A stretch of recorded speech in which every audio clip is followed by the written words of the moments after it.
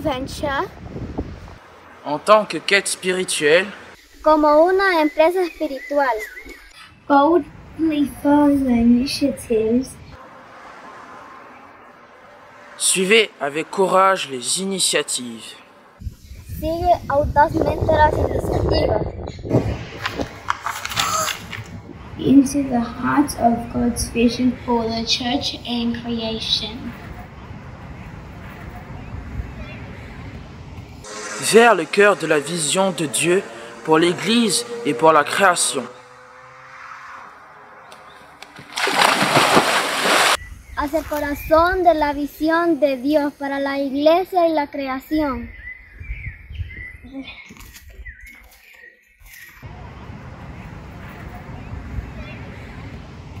Then, in response to growing insight about God's nature and will, Puis, en réponse à une compréhension croissante de la nature et de la volonté de Dieu, Entonces, en respuesta a la percepción cada vez mayor sobre la naturaleza y la voluntad de Dios.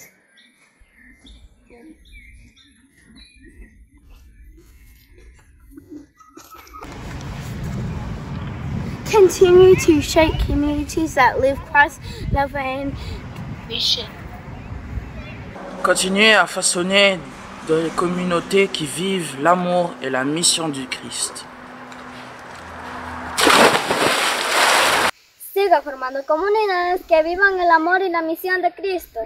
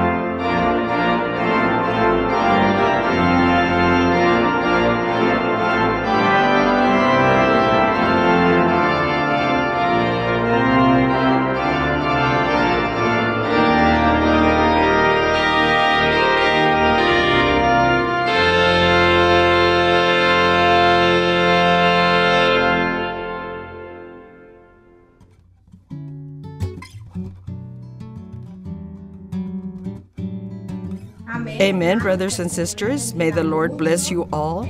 Today, I want to share a message with each of you on the theme The Inward Journey Toward Jesus the Peacemaker. Throughout our lives, we have felt the peace of Christ. That peace is a peace that fills us, that helps us push forward and continue the path of the gospel in the way of life, the venture in which you and I believe. That peace overflows and allows us to continue constantly under the protection of the Holy Spirit. That peace helps us to move forward, helps us to face the storms, and persevere with what we have chosen for this life. That peace is the journey with Jesus Christ. It is the journey along with our brothers and sisters. It allows us to rely on witness, on evangelization, on each of the acts that we do in that peace, in that calm, in that tranquility. That is the peace only the Holy Spirit can help us rediscover, the one Jesus referred to when he said, My peace I leave with you, my peace I give to you. I do not give to you as the world gives. The world can give us temporary peace, but a lasting peace, a peace of truth, a peace that can bring us closer to Jesus, that peace He gave us through His sacrifice because we believed in His Word, because we believed in what He wants for each of our lives. And that is the message that I want to leave with you that when we are facing the storm or moments of anguish or illness, that peace is what must reign in our hearts. That peace is what must be rooted in our lives. When we believe in the perfect divine order of the Holy Spirit, peace will prevail.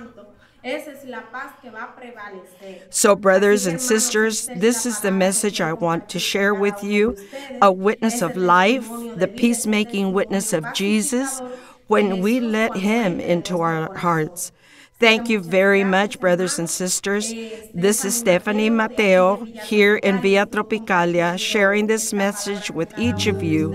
I love you in the love of Christ, and let us continue to be peacemakers through the mercy of Jesus.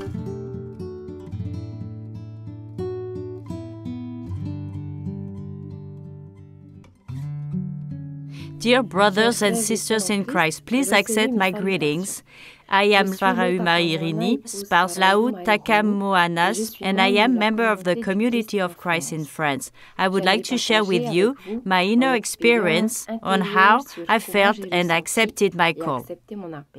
It all started one evening when we were with my family around a meal. I received a call from Pastor Kai Helani and Joey Williams to introduce me to my call to serve as a teacher. Following a very emotional exchange, I was overwhelmed with a mixture of emotions, both joy, so much that I was crying, but also fear, because I didn't know what God had in store for me. But what I was sure of was the answer I was going to give, although it was not immediate, because I needed to reflect. I asked myself the question Am I really capable of serving God as a teacher? I documented myself and turned to my mother to know about the role of a teacher. And I prayed to ask God to guide me and to enlighten the path I was going to take. I also remembered the enduring principles about the worth of all persons, and all are called. Today it's me, tomorrow it's you. I then made the responsible choice to pursue peace on earth by giving my answer a few weeks later. And it was with a humble heart, full of joy and gratitude, that I decided to recommit myself to serve God, but this time as a peacemaker. I don't know if it was a coincidence or God's will, But one morning, I was confronted with a concrete example of what a teacher could face in his ministry. I lived this moment as an enriching experience, and it confirmed my place in this ministry. And I would like to end this moment of sharing with uh, a sharing from Doctrine and Covenants, section 161, paragraph 7. The spirit of the one you follow is the spirit of love and peace. That spirit seeks to abide in the hearts of those who would embrace its call and live its message. The path will not always be easy. The choices will not always be clear, but the cause is sure, and the Spirit will bear witness to the truth. And those who live the truth will know the hope and the joy of discipleship in the community of Christ. Amen. May God bless you.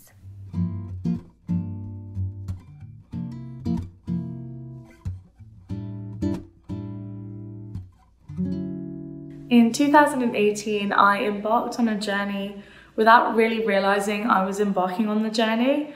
And that started when I attended the European Peace Colloquy that was held at Dunfield House. Um, at the time, the weekend was really shrouded in mystery for me. I had no idea what a Peace Colloquy was or if I would enjoy it. Um, but I decided to attend the weekend knowing that I would be surrounded by friends and like minded people. And I'm really, really glad that I made that decision because it turned out to be such a pivotal part of this journey that I have been on um, in the pursuit of peace. At the weekend, my mind was really open to the different approaches and perspectives to peace. There were some amazing speakers um, who spoke of their own personal experience with activism and really inspired me to do more for the pursuit of peace. Um, and also kind of gave me the courage to feel like anything is possible, um, which was really, really exciting. Um, and following on from the peace colloquy, we had discussions on the non-violence resolution from Europe, um, which was really, really exciting to be a part of the community that was discussing that non-violence resolution. Um, and even more excited to be so passionate and driven um, to make it happen. Um, so I felt very, very blessed to be part of those conversations. Um, and it was from that weekend that I really decided that I wanted to be at the World Conference. Um, and I really wanted to be able to see what was happening with this resolution um, and to continue on this journey that had started at the Peace Colloquy and just to see where it took me. So I decided that I was going and I attended my very first World Conference, um, which I was a little scared about, a little nervous. I had never been to a World Conference before. I wasn't sure what it would be like, um, if it would be for me, but like the Peace Colloquy, it turned out to be an event I'm very, very glad I said yes to because I met so many amazing people from across the world and I had so many life giving conversations about the non-violence resolution, different people's culture, um, different experiences of being a community of Christ in different parts of the world. And I am so blessed to be part of a church that has so much unity and diversity. Um, and I really, really felt that being at that conference and sharing in fellowship with new friends as well as old friends. After the World Conference, um, I found myself at a few other events um, that were, in my eyes, continuing this pursuit of peace and continuing this journey that again had started with the colloquy. Um, one of these events was Greenbelt, which is a musical festival that's held in the UK. Um, and it, at that year, in 2019, we had a group of members and friends from Community of Christ who were performing a set that was called Sing Peace. Um, and it was really, really exciting to be able to go and cheer and root for these people um, and also help invite the wider Christian community that was at this festival um, and tell them a bit about who we were as a church um, and share that peace and that message, um, not only through the songs, but um, through those conversations and interactions that I was so blessed to be a part of. After that experience, I decided to attend my very, very first protest. Um, it was held in London um, and it was protesting against the arms fair. Um, I attended with a good friend, Andrew Bolton, and we marched under our Community of Christ banner um, in such a diverse community who were also sharing their support um, for peace. And there was a lot of interfaith dialogue. There was a lot of unity in the silence as we prayed together um, and stood united for peace. And now, following on from all of this, I look forward to returning to the next World Conference and being able to continue this journey, continue having these conversations, and continue to be inspired by people across the world um, to continue to pursue peace. And I'm really, really excited to see what conversations will be had regarding the non-violence resolution and to see where this journey will continue to lead me.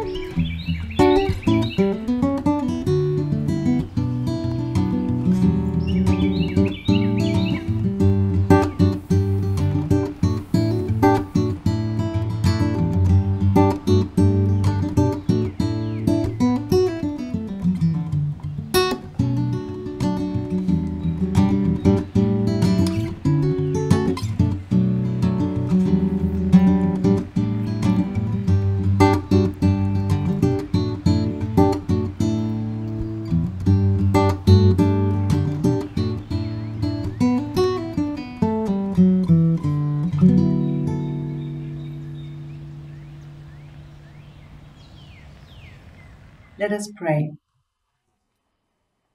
God, Mother, Father, creating loving power, we come together joined in prayer to ask for your blessing. We had plans to gather physically at this time to celebrate our diversity and to give you our collective praises. Unfortunately, this is not possible. Yet we did find ways to unite.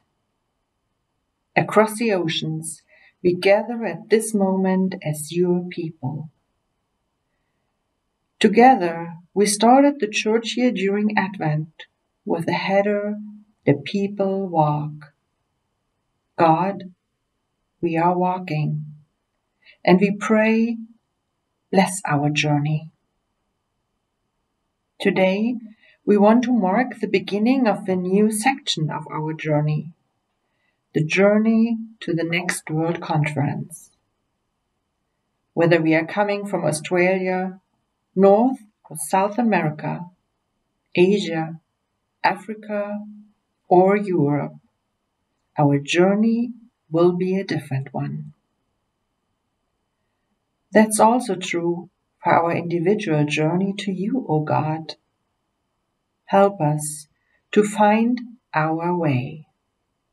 Give us strength and courage to go our way. Send us people to go with us, to cheer us on, and to help us back on the path when we go astray. A well known saying says, The journey is a destination. Even though we are having a goal, World Conference 2023, the journey is the most important part. I'm sure there are many paths, paths we are familiar with and feel comfortable on. But maybe the path that we have taken before cannot be taken anymore. Maybe we need to find a new path for us. Maybe we need to join others and support them on their path. Which path we may take, known or unknown to us, God bless our journey. We yearn for community with each other and with you, O God. Let us feel your presence on our way as we, step by step, come closer to each other and to you. This is our prayer. In Jesus' name, amen.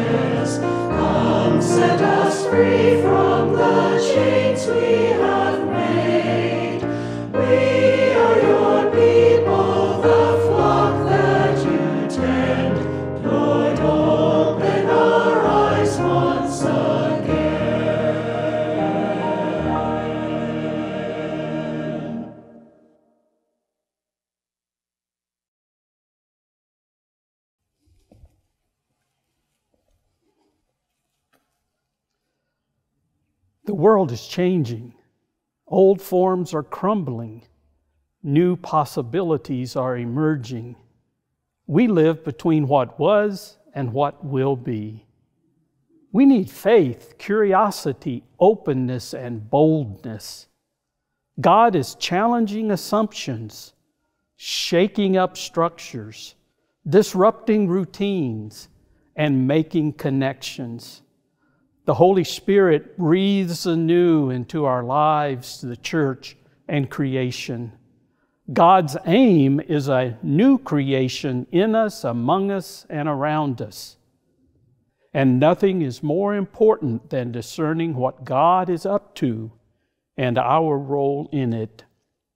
Doctrine and Covenants 162, paragraph 2c urges As a prophetic people, discern the divine will for your own time and in the places where you serve. You live in a world with new challenges, and that world will require new forms of ministry. Discern the divine will. New challenges require new forms of ministry. Discernment is more than planning and or asserting personal views. It is engaging in spiritual practices so we can be more aware of God's activity and how best to respond.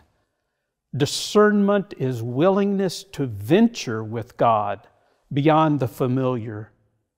If you or your group need a discernment guide, some evangelists and those who have completed the spiritual formation and companioning program are available. Recall Jesus' parable of the Samaritan. We will explore it extensively at World Conference 2023 with the theme Courage. A traveler was robbed and beaten. Two religious figures, a priest and a Levite, passed the traveler but did not help. In fact, they crossed to the other side of the road. Then the Samaritan, assumed not to be so religious, saw the nearly dead man and had compassion. The Samaritan boldly moved toward the man, tended his wounds, took him to a safe place, and paid the expenses for his care. Everyone saw the same situation. However, only one discerned what to do. The Samaritan perceived God's call and courageously responded. The others, captive to their human biases, were oblivious to God's call, even though they thought they were in harmony with divine will. The Samaritan saw as God sees, and responded as God does. That's the heart of discernment. A map of the future would be nice, but that's not possible given this time of cultural shifts and disruptions. Neither can we go back to the past because that world no longer exists. We must keep venturing boldly with God, like people of faith and vision always have done. Our journey is not left to blind faith.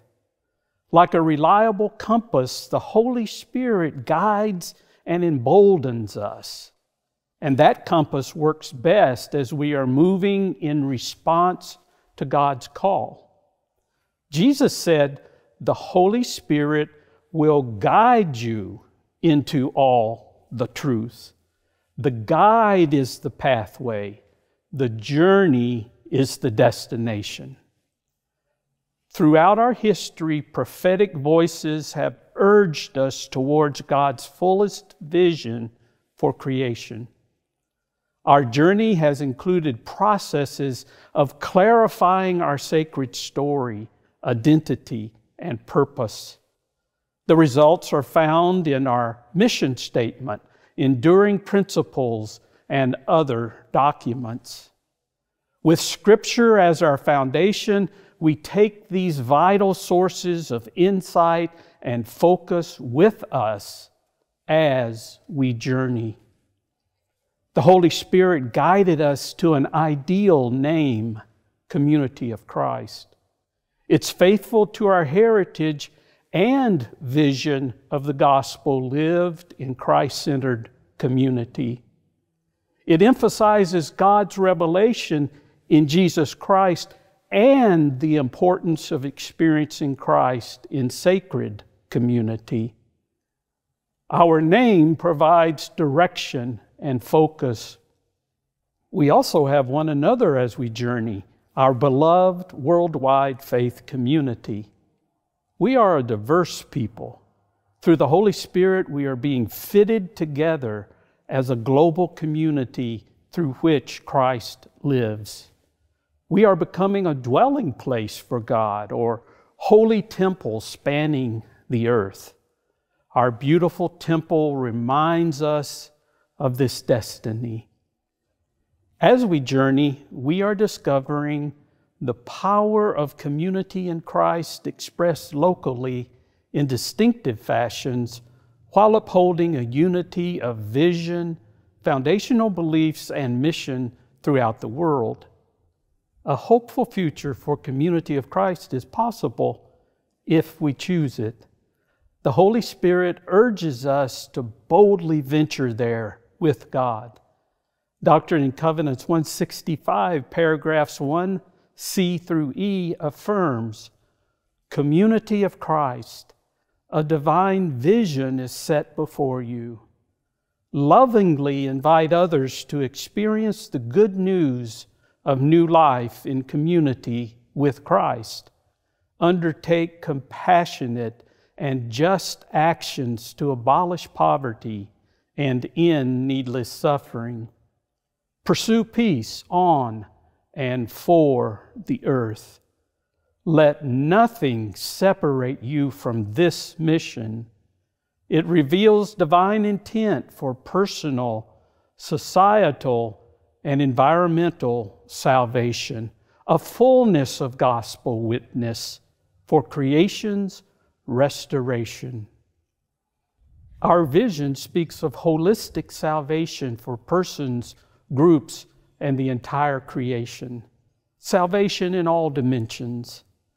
God's vision of restoration is much bigger than many imagine. The World Church Leadership Council is involved in group discernment. This includes constant listening to the Holy Spirit through the voices of various ages, cultures, and life experiences around the world. The Council has drafted a statement of emerging themes. Excerpts include The soul of community of Christ is expressed most fully as we embody Jesus Christ, the peaceful one, and his mission. This happens through relational, spiritual, invitational, and globally connected Christ centered communities actively pursuing justice and peace on and for the earth. We are discovering that a posture of simplicity, agility, and flexibility will equip and poise us to faithfully live the heart of our calling in a changing world. These sentences are not the end of discernment, they provide opportunities for explorations of principles, possibilities, and insights in all apostolic fields. The church's constant call is to discern the time in which we live, our varied contexts of mission, and what our approaches to ministry should be as we embody the soul of community of Christ and follow Jesus, the peaceful one. As we journey to World Conference, we are urged to prepare spiritually for joint discernment, important decision making, inspiring worship, and intercultural community building. In September, I will present added information and perspective to help us prepare. I look forward to speaking with you again at that time as we continue to venture boldly with God.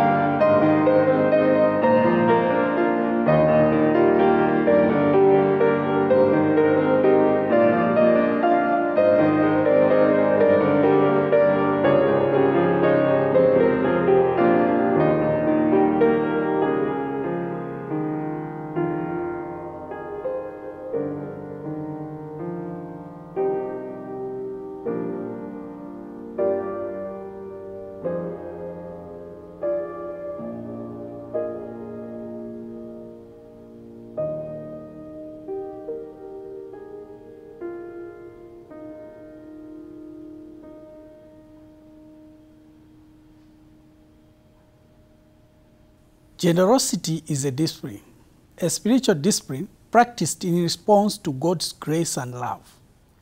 We received first from God His boundless grace and unending love. We are called to share because we first received, and we can only give what we have. The question is what, what is it that we have to offer? I have three little girls, and recently I have been blessed with a baby boy. I thank God for that. And it is one of the reasons I must give and show gratitude to Him. This must be put aside. Back to my point. One of the girls one day came to me and asked me, Dad, why is it that you only give me money to give to God at church? Does God not need our rice, our chicken, and our vegetables? The question silenced me, and I pondered how to begin responding to her. Something came to my mind, and I asked her, What do you have to give today apart from the money I give you? She ran into her bedroom without saying a word and got one of her dresses, and she asked me, Dad, I have this to give to God today. So I asked her, between the two, what would you feel comfortable to give to God today? If you must, if you must choose one. And she responded, I will give my dress because this is what I think God needs today. I have been giving him money. What do you think God needs most today? God gave us an unconditional love when we needed love. He gave us His only begotten Son when we, we needed His salvation. And we are to share the same with those who are in need.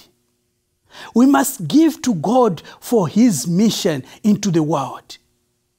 As we experience the good news of new life in Jesus Christ, I invite you to join hands and partake in the compassionate ministries to abolish poverty and end needless sufferings, individually and cooperatively. And the universe needs your generosity. Let us give towards this noble mission of Jesus Christ, which is our mission. May the good Lord bless you as you continue being generous. Amen.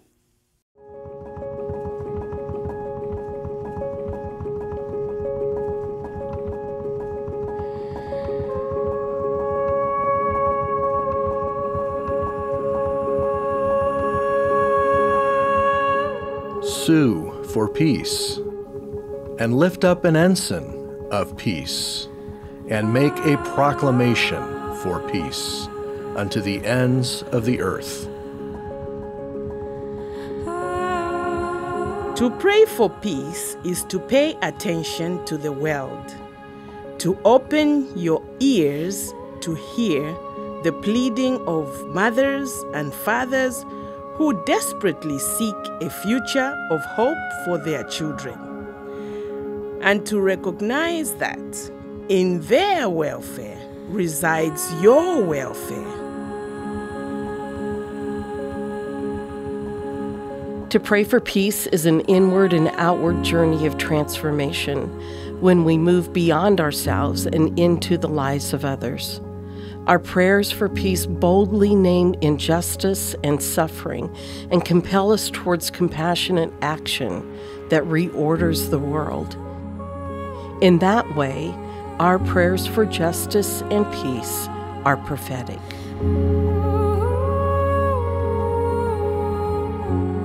When we truly, truly pray for peace, the poor are cared for attended to by the mercy of God in and through us.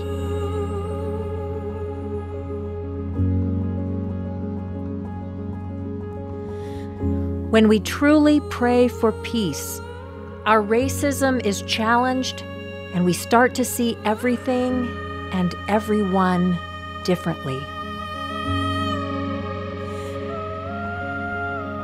Lorsque nous prions vraiment pour la paix, When we truly pray for peace, house doors are unlocked and opened for immigrants, et nous détruisons les camps des réfugiés and we break down refugee camps and welcome immigrants and refugees into our rural and urban communities.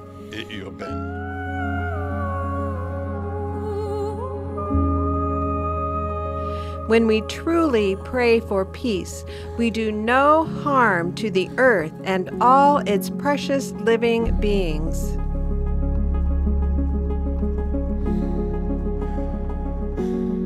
Nuestras oraciones por la paz Our prayers for peace have the power to shape a future where the reign of God can happen. Our prayers are works of hope.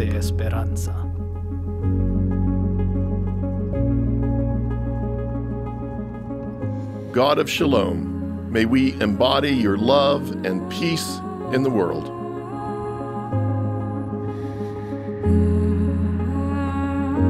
Spirit of peace, through our prayers and actions, enable us to live into your deepest longing for your precious world.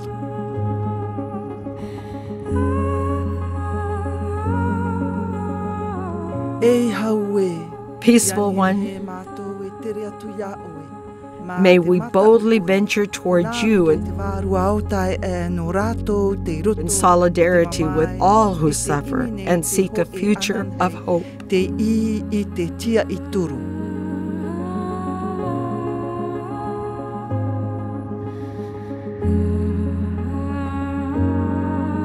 Sigue audazmente las iniciativas Boldly venture into the heart of God's vision for creation. y la creación. Busca la paz Pursue peace on and for the earth.